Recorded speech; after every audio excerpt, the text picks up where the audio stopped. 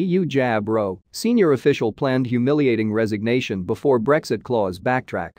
An EU official said they would have resigned had the temperature failed to cool in the bloc's fierce coronavirus vaccine row with the UK. On Friday the EU threatened to block exports of vaccines made in Europe after drug manufacturer AstraZeneca announced it would only be able to fulfill about a third of its original order. The company, which worked with Oxford University to produce one of the cheapest COVID-19 vaccines, claimed there had been problems at its European manufacturing plant.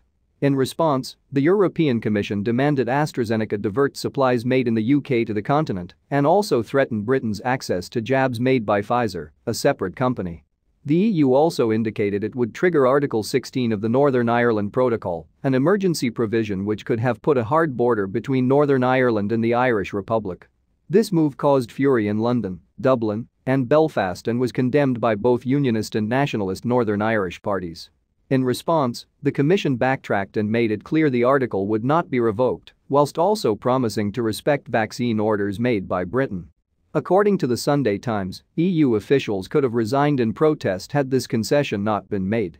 During Brexit negotiations the European Commission was adamant there could be no border between Northern Ireland and the Republic.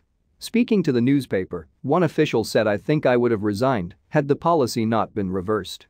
Irish Foreign Minister Simon Coveney said, the idea that we'd be triggering Article 16 for any reason, apart from some absolute and dramatic emergency, it shouldn't have happened.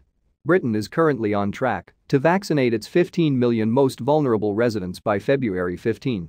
The EU, by contrast, has fallen well behind and has only vaccinated around a fifth of what the UK has per capita. Cabinet Office Minister Michael Gove said the EU realizes it made a mistake by activating Article 16. The minister added he is confident the UK's COVID vaccine supply will not face disruption. Speaking to The Times, a government official revealed the details of tense details between Boris Johnson and Ms von der Leyen. They said, things got pretty spicy. The important thing was establishing with confidence that there would be no issue in relation to people needing their second jabs. They need the safety and security of knowing they will get another. His job on that call was to get her to agree to that point. On Friday, the UK vaccinated another 487,756 people, the second highest daily total.